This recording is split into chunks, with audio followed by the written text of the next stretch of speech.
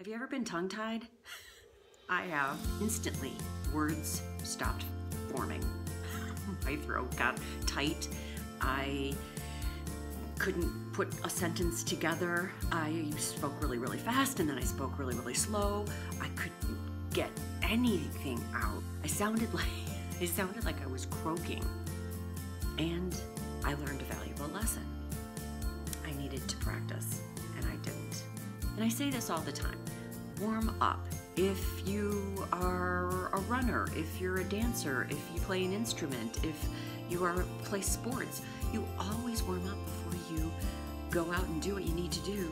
You have to do the same before you speak. You just have to.